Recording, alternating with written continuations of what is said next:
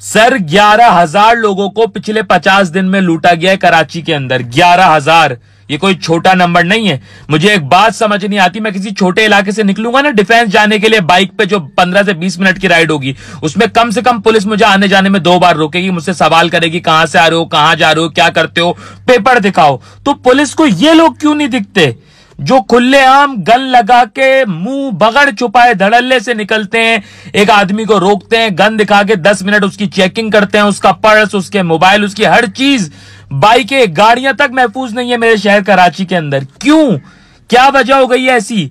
ये कौन लोग है? मैं नहीं बोल रहा ये कौन लोग है? मैं बोलूँगा तो आप बोल रहे ये बंदा लिसानियत फैला रहा है।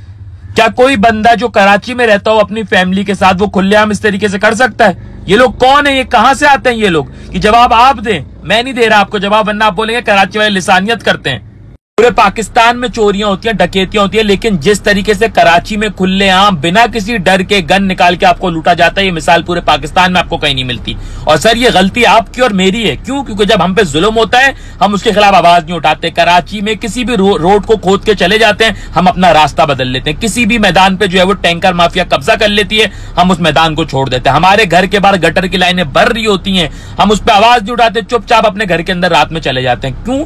जब आप आवाज़ नहीं उठाओगे जुल्म के खिलाफ, जुल्म को आप बुरा नहीं समझोगे तो ये ज्यादतियाँ बढ़ती रहेंगी और ये उस लिमिट तक पहुँच जाएँगी जहाँ तक आप बर्दाश्त भी नहीं कर सकते। आज देख रहे हो ना आप कराची का हाल, कि खुलेआम डर लगता है कहीं पे बैठते हुए, होटल पे बैठते हुए, कहीं खड़े होते हुए कब आएगा, कब मोबाइल हमारा चला जाएगा। हम लोग खौफ से जीते हैं।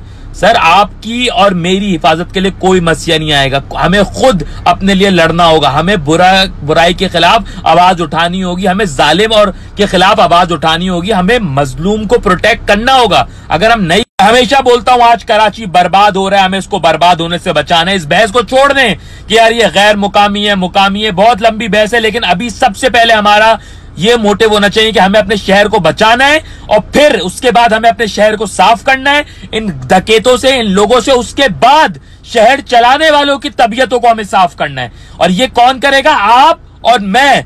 हमें निकलना पड़ेगा अपने शहर को बचाने के लिए, कोई मसीहा हमारे लिए नहीं आएगा। कुछ नहीं कर सकते। सोशल मीडिया पे वीडियो डालो। एक दिन में हज़ार वीडियोस जलेंगी इशू हाईलाइट होगा। लोगों को पता चलेगा। तुम अपनी मदद, आप जो भी सोल्यूशन अपने शहर के लिए, तुम कचरा उठा सकते हो, तुम जिस सिक्योरिटी दे सकते हो, तुम जो कर सकते हो, करो अपने ये सोच के कि ये शहर तुम्हारा घर है। हमें इस शहर को बचाना है। कोई हमारे इस शहर को नहीं बचाएगा। या अल्लाह मेरे शहर, कराची और मेरे पाकिस्तान की हिफाजत फरमा फ़ी अमान